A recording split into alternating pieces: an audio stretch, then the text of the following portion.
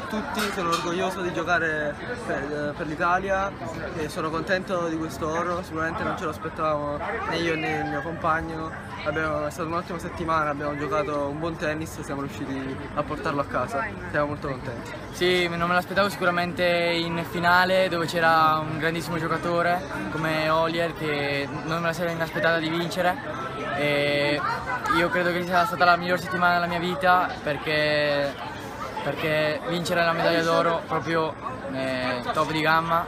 E poi ringrazio il mio coach Martin Pereira e il mio preparatore atletico Massimo Tedeschi che mi hanno aiutato ad arrivare qui e grazie a tutti.